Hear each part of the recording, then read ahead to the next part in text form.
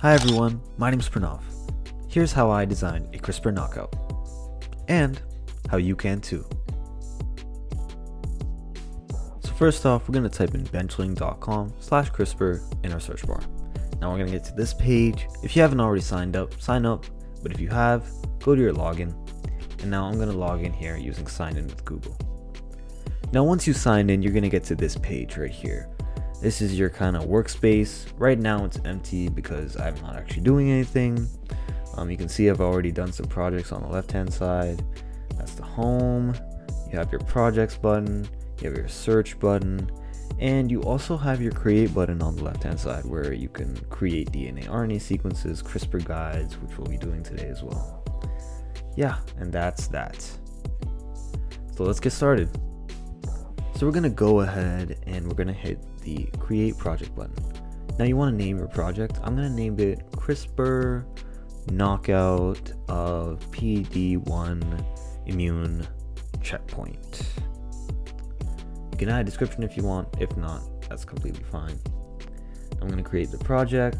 I'm gonna go ahead create DNA slash RNA sequences, import DNA slash RNA sequences, and I'm gonna import from database. Now I'm going to type in PDCD1, which also refers to the PD1 gene. To click human, search, and then we got the PDCD1 gene right here. That's completely the same thing. I'm to hit import. Now, there we go. We got our gene. So now we're going to go back to that top left corner, hit the plus sign. We're gonna go to CRISPR, CRISPR guides. We're gonna search for our gene, PDCD1, which is our PD1 gene. I'm gonna make sure I have GRCH38, the human genome. And I'm gonna make sure to select all the transcripts so that my CRISPR knockout will target all the possible forms of the protein since genes often produce multiple mRNA transcripts. I'm gonna hit next. Once that loads, I'm gonna hit finish. Just make sure that your genome is GRCH38, human genome, because you don't want to be doing it for a rat or a mouse, a human. Hit finish. Now what we're gonna do is we're gonna go ahead to the linear map and we're gonna try to pick an exon in which we will place our CRISPR guide.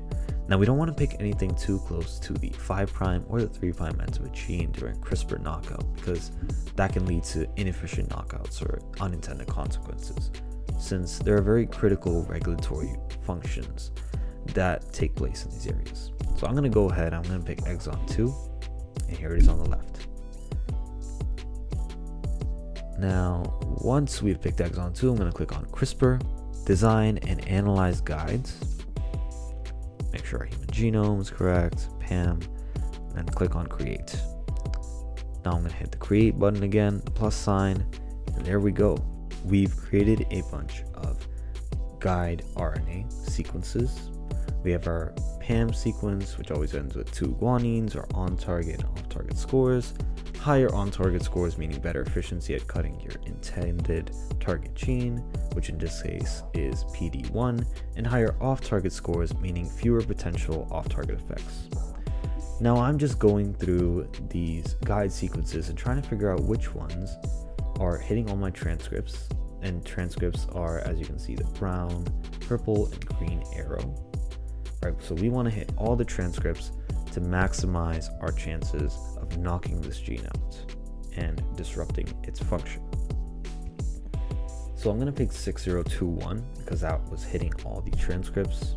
It's got a good on target off target score. I'm also going to pick 6010 at the cup position because it's also got a pretty good on target off target score. Then I'm going to hit um, 6016 because that one's pretty good too.